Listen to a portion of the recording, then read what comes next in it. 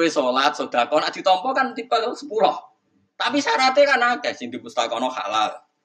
Akeh kan syarat. Tapi nak nak salah ngono syaratnya ke. Langsung tompo lah iya melane.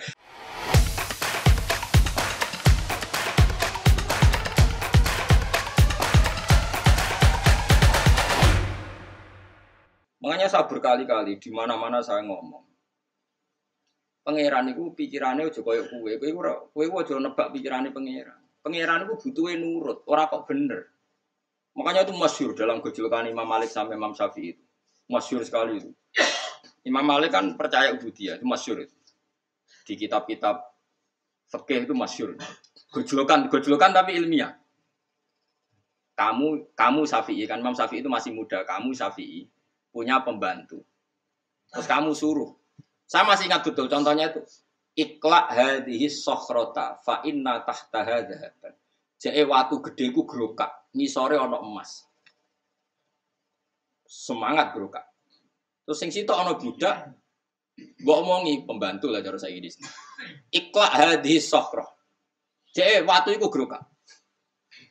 Sing budak sing loyal mau muni kon gerokak digerokak, ora ono papane lah digerokak. Jangan ono masih ora ini perintah majikan. Sami'na Kemudian kue seneng di loyalitas sing raro alasane mbek sing roh alasane. Jadi Imam Syafi'i yo seneng sing raro alasane. Karena sing raro alasane berarti nurut murni karena perintah maji. Tapi nak sing roh alasane kok nak misale klak hadi sokhro. Fa inna tahta. Cung buka yang mergo ono emas. Dibuka. Logis perintah majikan. Wong ono emas. Suatu saat dikongkon ra diberi alasan. Memangnya ada apa kok disuruh buka? Kalau nggak urgen jangan dong. Mangkel lo gak kawulo sing ngene. Gak jawab. Lah mulane bodho iku ilmu tertinggi. Mulane aku nak ono nak ono santri bodho ora ro alasane pangeran iku cah pinter. Iku wis dhuwure fikih paham. Makome wis kok roh hukume Allah tanpa perlu roh alasan. Samina wa ta'ala. Mulane kula mau ngilangi budung karena dhuwurku. Dadi kowe sing ngliwati aku. Mau pokoknya nurut ra perlu roh. Tapi umpama Islam digawa wong bodho yo rusak. Mergo ning dinggon bodho ku yo ngrusak. Tapi keminter yo ngrusak. Akhirnya ulama itu kadang kita pinter, kadang kita bodoh, gak jelas aja. Ya mereka mau. Ya tak contoh nomornya. Ini rumah nonton. Ya ono ki Fuad ono Mas Abu. Saiki kena sholat sujud ning pangeran. Tak bedheki. Sujud itu cara madhab Syafi'i paling resmi, kudu pirang anggota. Tujuh, yaiku al jabhah wal yaden warubaten wal qadamen. Ya mane tangan loro, dengkul loro, jamaah loro. Berarti di tujuh anggota kan? Yes, sepakat ya. Kemudian ma'atahamulin yasir sedikit ditekan. Dari Imam Syafi'i parilane pengandiane umpama kapuk itu nganti kem kempes. Orang nganti ngecap mboten pengandiane tidak sampai seperti itu. Pokoknya umpama kapuk kempes. Oke, sepakat ya. Tapi coro madhab Syafi'i yang lain, kaul yang lain masih Syafi'i. Sementing gerbadu enemplek, senajan to tangane ngrongkong atau pu- apa rubatan wah umpul sejawa malah bingung. Apa dengkule ngongkrong itu sah. Sementing baduke sujud. Mergo sujud yang seperti ini wis ngesahno murtad. Jadi misalnya ini, ono Zaid sujud yang berholo. Untuk sah dadi murtad itu syaratnya tujuh anggota puasa. Lho, kowe tak warai logika, kok bocah kok diwarai cerdas kok ora gelem. Apa kowe wani mending ngene? Oh, rasa iku murtate, mergo sujude iku mau wani iki mending ngene. Ayo wani to. ora? Sah gak murtate? Nah, tapi podo sing pantange. Lho taat mbek maksiat ku beda. Kowe nak sedekah, misalnya aku sedekah ning rugen, syaratnya ditampa pangeran kudu ikhlas. Nah, iki aku sedekah ning lonte. Syaratnya ikhlas apa langsung ditampa mbek pangeran? Maksudnya dicatat maksiat. Mulai ada ulama itu ngomong ini, ya rada nakal tapi bener ya Allah jenengan pun saya. Nah apik dilipat gadakno 10. Nah elek mek ditulis sitok. Tapi masalah sitok tanpa syarat ikhlas ya Allah. Maksudnya masih ya ora ikhlas lah ditulis. Paham tak Mas? Bocah mesti marahi kok gelem. Paham ta ora? Ya taat. Kowe salat, sedekah, nek ditampa kan tipe 10. Tapi syaratnya kan akeh sing dipustakono halal. Ikhlas. Tidak ada kebutuhan yang mendesak. Misalnya anakku kok neng UGD, emergensi. Aku sudah tahu nerukin kan gak dilem pangeran. Bocah dimicak keriting lali anak. Kan malah aku disalahno pangeran. Akeh kan syarat. Tapi nak nak salah ngono syaratnya ke. Langsung tompo lah iya nih salam potensi ini luwih akeh timbang apikmu mergo mesti di ACC salah iku salah ora ono syarat ikhlas aku nyolong gak sah ora ikhlas tulis Kayak kau nih lonte. Wah aku mau rai kelas kok. Niatku untuk timbal balik kok. Oh itu ya rai iso tetep. Tapi nak kau nih ruhin, terus memperbudak ruhin, gak sah. Berarti gue niat memperbudak transaksi ona. Nah anak ngono potensi salam ambek apik mati. Mulane kon tetep istighfar aja kok pepeh. Tulis 10 dikelip 700. Wah akeh poin kuwi. Elek mau ditulis. Tapi si tok mantep iki. si tok dadi, probleme iku. Paham to ora?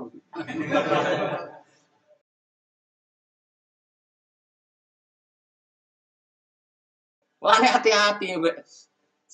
Sitok sitok kasil iki apa? Mungkin ngambung wong wedok ora bojomu langsung haram, langsung sah mak. Sia.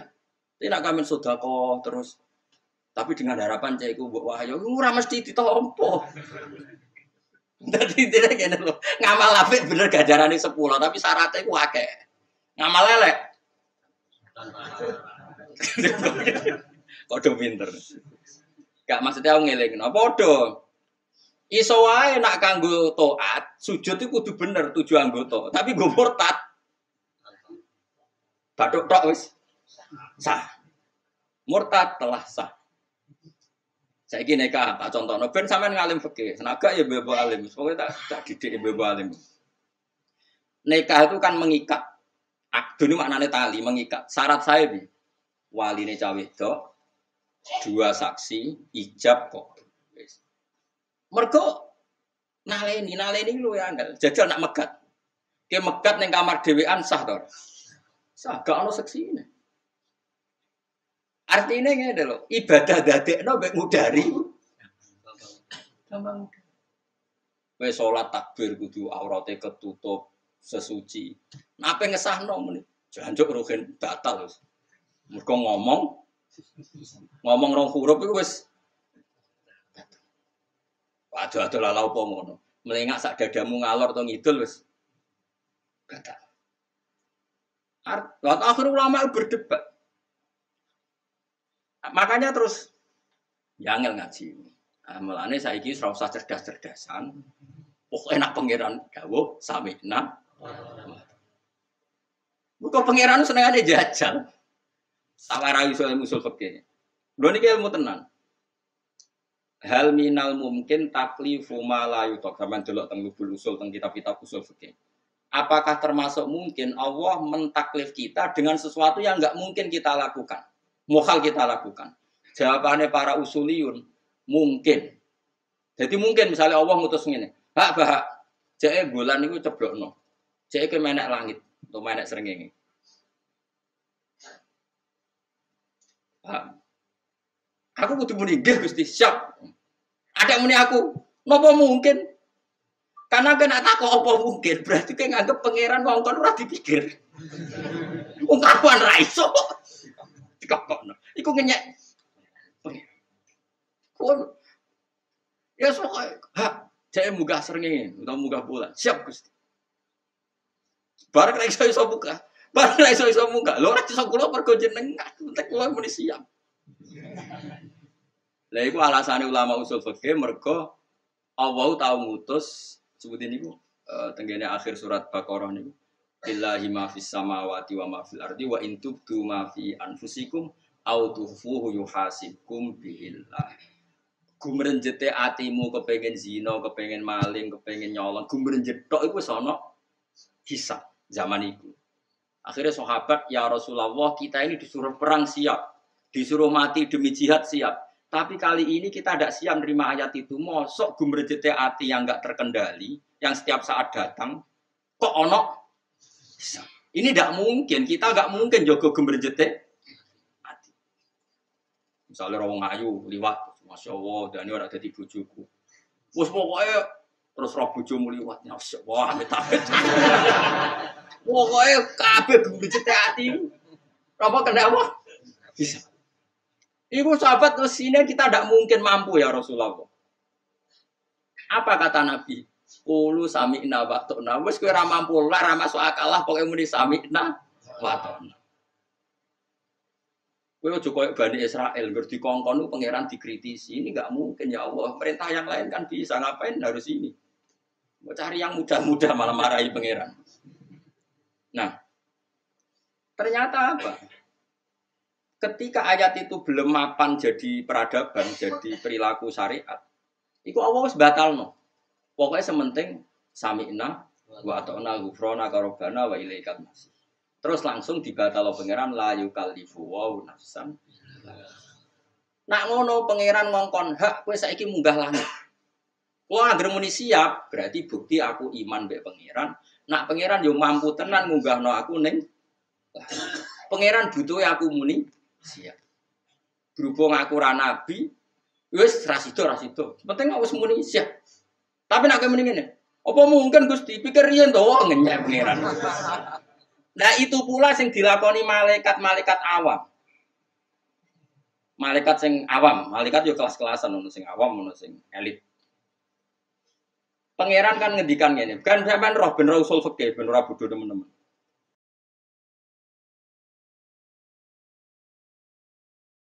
Pangeran kan ngendikan ngene ning malaikat.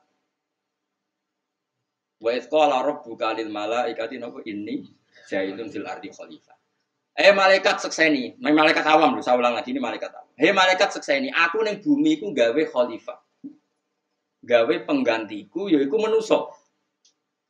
Malaikat langsung menjawab, "Qalu ataj'alu fiha ma yufsidu fiha wasfikut intima wa nahnu nusabbihu bihamdika wa nuqaddisu lak." Gusti masa menuso sing duwe reputasi mengalirkan darah dan punya catatan senengane rusak bumi, mosok jenengan dadekno khalifah. Mbok yo kita, kita yang sering membaca tasbih sama engkau. Logikanya kenapa malaikat ini dinyak pengiran disalah-salahkan? Saya ulang lagi, ini awamul malaikat, bukan kayak Jibril dan Mikail. Ini penting saya jelaskan supaya kamu tidak suudon sama Jibril dan Mikail. Karena aku aku yakin di sini Jibril, aku sering kampanye, itu malaikat awam. Saya niru tafsir Qurtubi. Jelas tafsir Qurtubi mengatakan ini awamul malaikat, bukan kayak Jibril dan kalau ini terpelajar, gak mungkin ngomong seperti itu. Cari Imam Qurtubi. Sama delok tentang tafsir. Kulo setuju. Mosok malaikat papan atas kok mensomasi so. Tuhan. Logikanya malaikat ini salah kan gini. Itu kan sama dengan mengatakan gini. Gusti, apa jiran gak mikir menuso sing kelakuane ngono mbok dadekno khalifah. Meragukan saja itu kan bukti mengevaluasi perintah Tuhan. Tuhan. Kan kacau, jarimu kowe nasbehno aku. Harusnya kalau nasbehkan aku kan mentasbihkan, mensucikan aku dari kemungkinan salah. Malaikat awam ini kan kacau, bilang saya mentasbihkan engkau ya Allah. Makna mentasbihkan adalah saya meyakini engkau nggak pernah salah.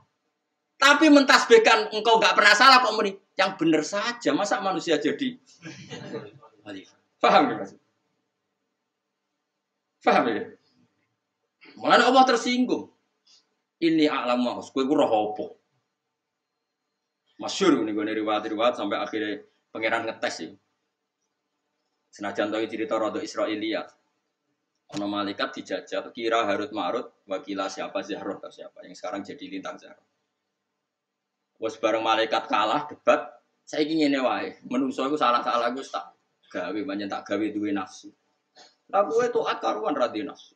Gue gusti kulo tetep taat. Wae singkat cerita, gue pangeran terus saya disuntik sahabat di dona ning bumi. Rawa ngatus itu langsung zina. Itu ora SMS-an sik gak ngerayu sik langsung. Dari pengiran ayo kok ngono wae. Pas singkat cerita terus dia terbang Isra iso mergo bar maksiat terus disulap pangeran dadi Zahra. Jadi lintang, lintang sebagian lintang. Meskipun cerita itu Israiliyat itu, tapi itu pelajaran bagi malaikat. Kamu baik itu karena tak desain baik, yaitu tidak ada syahwat. Menuso tak kon apik tak kei syahwat. Jadi menuso itu unik. Figur yang didesain petualangan. Dikon apik tapi dikai syahwat. Dikon korupsi tapi dikai moto ijo roh dhewe. Piye gitu. Dikon ra zina tapi nak roh wedok dikai syahwat. Mau seru lah, mau menuso itu seru. Napa? Seru. Nah, tapi apa pun itu benar Imam Qurtubi itu awamul malaikat. Jadi cara berpikir awam malaikat itu wong menuso do sering salah kok jinan angkat jadi khalifah. Malaikat uteke tok ngono tok mikir. Ora kok mikir ngene, wong pangeran iku alam, pangeran iku ahkam. Kok tak kritisi mestine Allah ngatur ya luweh per Mulane akhirnya kabeh kiai nak ngaji ditutup wa wa alam. Iku pinter, pintere pinter. Mulane kan amalan kita gak iso wa wa alam. Wa wa alam. Mergo iku mesti wis bener. Apa sing luwih apa? Makanya saya saya termasuk orang yang matur nuwun tafsir Qurtubi. Saya baru menemukan tafsir itu karena maksudnya baru menemukan fasir yang komentar gitu. Umumnya itu tidak komentar. Imam Qurtubi berkomentar malaikat ini bukan malaikat akabirul malaikat, bukan ruasaul malaikat, tapi awamul malaikat. Dan buktinya karena Allah punya tradisi kalau malaikat papan atas disebut namanya. Tapi kalau awam disebut manusia. Dan itu sah dalam balawah dari Imam Qurtubi. Misalnya ini contoh gampang, rasa tersinggung bisa. Biasa wae. Ono jamaah jalalan itu teko misalnya ini di. Kan istilahnya mau jamaah jalalan teko. Tapi nek sing teko aku masuk dibahas nang ngono ngenyek. Acara aku Gus Bara mesti beda. Karena orang khusus mesti disebut. Ya iya misalnya kue di acara pernikahan. Tadi masyarakat datang semua. Jokowi, menteri, ulama, gak mungkin, tetap disebut. Wah tadi dihadiri orang banyak, presiden yang datang itu disebut. Nah misalnya gitu, sing ngaji tafsir jalalan nih, tekon yang acara. Tentunya jodohin mati, jodohin mantu lah misalnya. Istilahnya nak uang biasa kan didatangi semua jamaah tafsir jalalan. Mungkin nggak saya masuk dalam bahasa itu. Nggak, nggak, ini bukan urusan sombong. Nggak mungkin, mesti mereka membahasakan ruhin Gus Bayu Nah, Allah punya tradisi Jibril disebut Jibril, maka anak adual di Jibril. Quran dia nazala bihir ruhul amin disebut. Jadi Jibril gak melebu nih malaikat itu maksudnya apa? Malaikat yang protes mau sing awam mau. Masuk akal gak? Enggak pinter, pinter tenan dong batin. Yang jadi ulama ya. Jadi pinter tenan. Jadi dia gampang saja cara berpikir. Gak mungkin malaikat spesial ini di di gelom Maksud dadek no situ apa? Rombongan gak mungkin.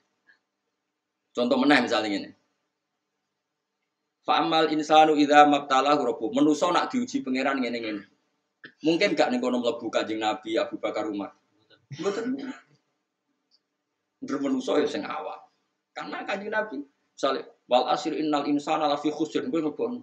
Jadi sakjane Nabi Muhammad Umar ya lafi khusr. Neraka kamu mungkin wong khusus itu mesti disebut khusus nama ya atau khusus lah atau gelarnya pokoknya enggak enggak gemblengan. Wong kok pinter ini nih. Semenjak itu aku terus seneng aja Jibril. Aku di sini sempat ini nganti Jibril malah protes. Aku gak terima. Sok malaikat terpelajar kok. Protes. Nah, malaikat ini yang kita harus rodok karena mereka gak setuju kita jadi khalifah sing sing kalu atau jalu fiha mayusik.